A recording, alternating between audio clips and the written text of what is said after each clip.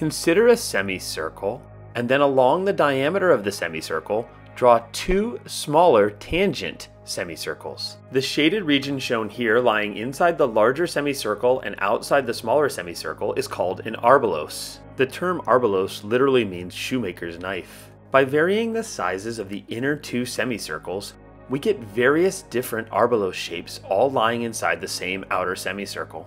Here's an amazing theorem about the area of the arbelos. Consider the semichord from the tangent point of the circles to the larger semicircle, and consider this circle that has that semichord as its diameter. As we vary the sizes of the inner semicircles, we see that this new circle's area changes, just like the arbelos area changes.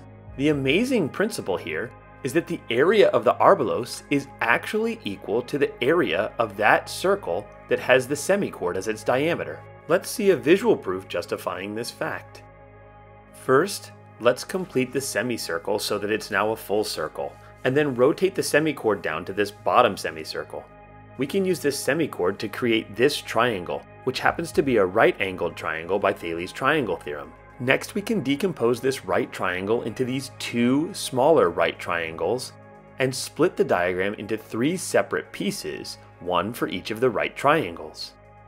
For each one of these triangles, we'll draw semicircles off the three sides of the triangle like this. According to the Pythagorean theorem, the sum of the areas of the semicircles off the legs of the right triangle must be equal to the area of the semicircle off the hypotenuse of the right triangle. So in each of these diagrams, the blue area is equal to the pink area. But now we can glue these three diagrams back together one at a time, remembering that pink areas and blue areas counteract one another. When we do that, we see that the only area surviving is the pink area of the arbelos and the blue area corresponding to the circle whose diameter is the semichord. But remember that the sum of the blue areas was equal to the sum of the pink areas, and therefore the area of the arbelos is in fact equal to the area of the pictured circle.